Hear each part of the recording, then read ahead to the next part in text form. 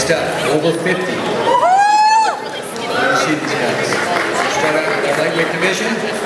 Opening up with number nine, Raphael